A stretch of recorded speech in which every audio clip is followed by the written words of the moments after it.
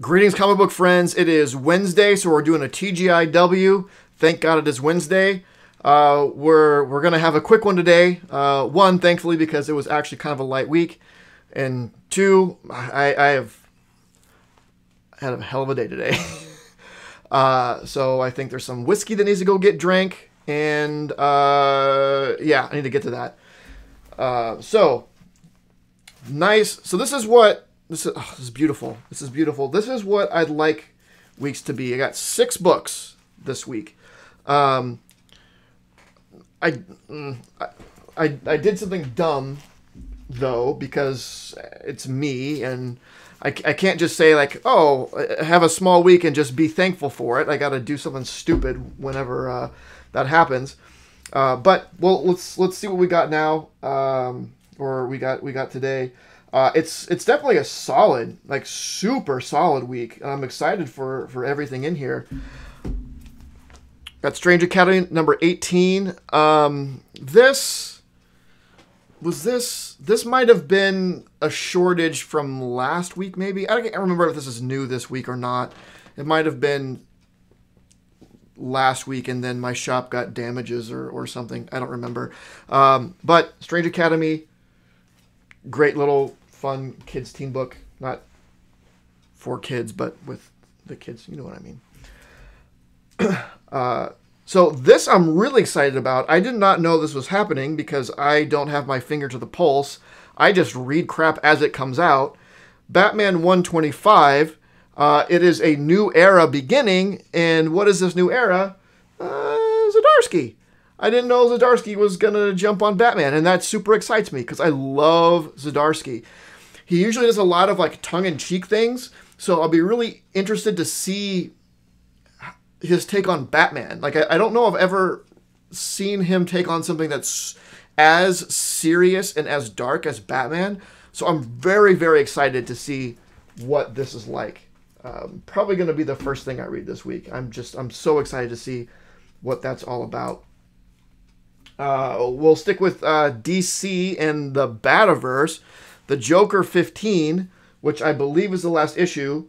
Um, but I say that every time, and then I look it up, and then I'm wrong, and then I don't know. So maybe it is, maybe it's not. Uh, I feel that it is because it's a little bit thicker. It's also a seven dollar book. That seems a bit much, even for how thick it is. But the Joker usually has been like a, a dollar more than what the usual cover price is. I don't know why, um, but I, I think that's the last issue.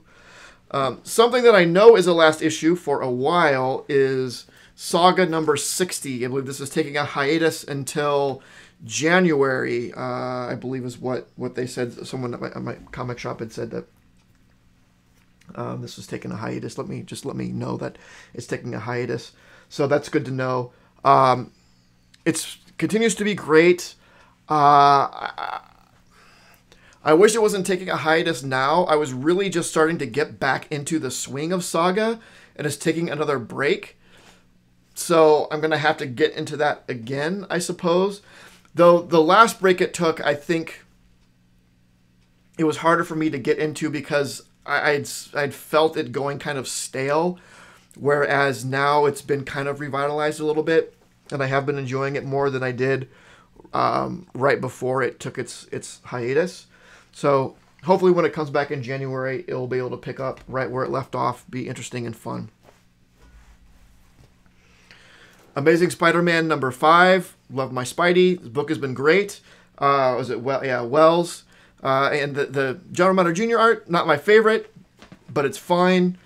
But uh, Wells is doing a great job. I think this is a really interesting story with uh, Tombstone and um, was it uh, Robbie Robertson and uh, Tombstone's daughter, who I think is, the current Beetle. I don't remember what her name is. Um, little little Lady Tombstone, uh, but it's been a good story. Some interesting twists and things in there. Ro- the Rose is involved, and it's good. Um, but uh, Amazing Spider-Man.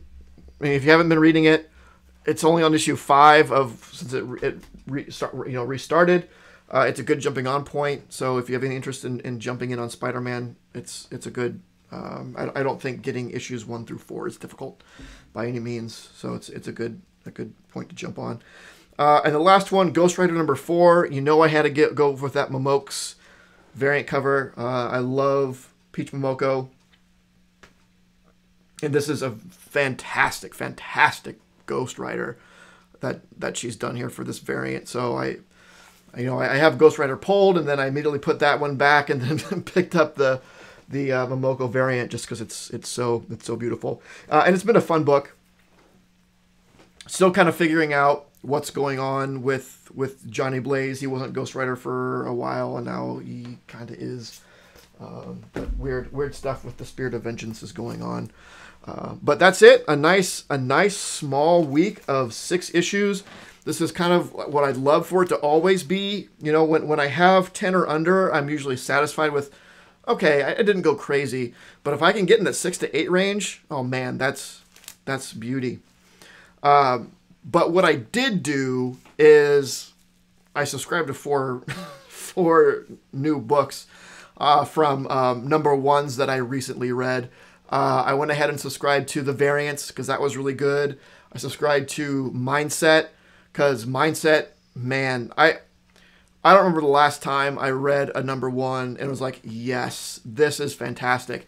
Do I think it's going to explode and like be worth a bunch and get a show? Like, probably not. I don't care, but I think it's a really, really, really good book.